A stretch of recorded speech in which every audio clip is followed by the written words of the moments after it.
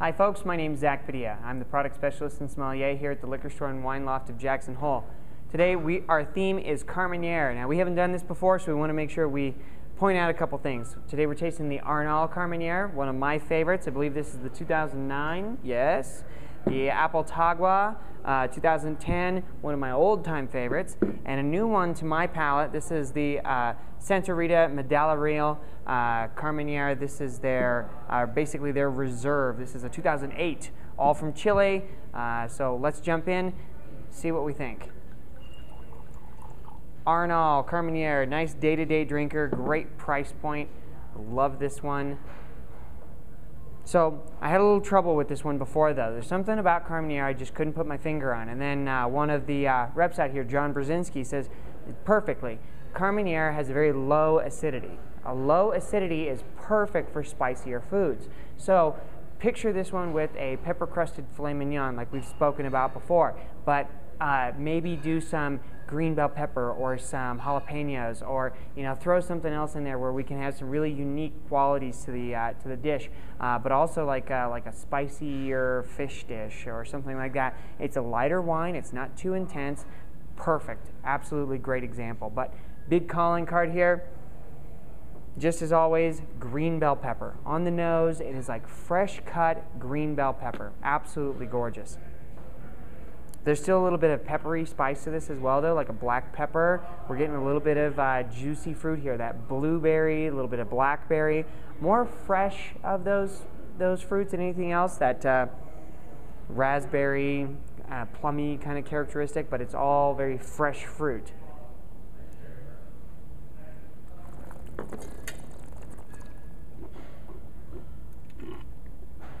Absolutely echoes on the palate with that fresh juicy fruits, raspberry, blackberry, blueberry.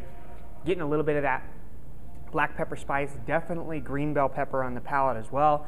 Uh, that lower acidity, so you know I might swallow once, maybe twice. You know, a lower acidity will do that.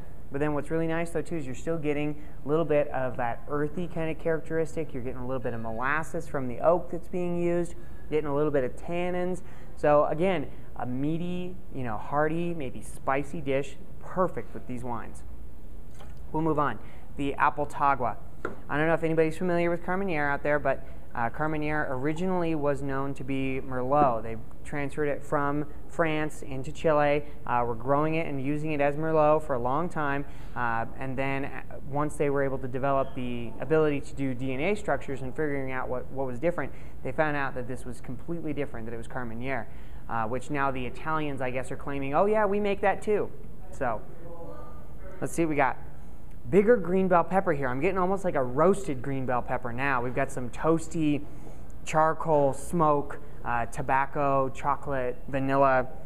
Definitely getting your juicy fruits here. A little bit more of a jammy characteristic, that blackberry, blueberry, that uh, a little bit of that raspberry still, a little bit of a tartness.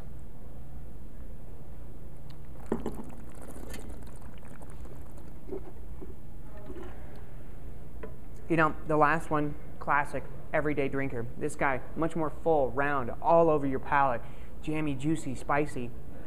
Definitely that green bell pepper, a little bit more acidity, but I mean, this, if this one had a little bit of green bell pepper, this is boom, green bell pepper, nothing but it. It's huge, but it's still got all those juicy flavors, that uh, round palate. I'm still getting that juicy, jammy blackberry plum kind of thing on the back palate with a little bit of mid palate spice. Beautiful wines, absolutely. We'll finish up here with the Santa Rita. This is their Medal Real uh, Carmenere Reserve 2008. All right, now just between these two, lighter colors, uh, lighter fruit flavors, a little bit of jammy character. This one, dark. Dark are, are just in the glass, it's a dark purple. So yeah, we're getting that jammy, dark, rich, baked uh, blackberry, blueberry kind of characteristics. Definitely getting that green bell pepper, maybe a little red bell pepper, but there's definitely some herbaceous, uh, fruity flavors here. Gorgeous.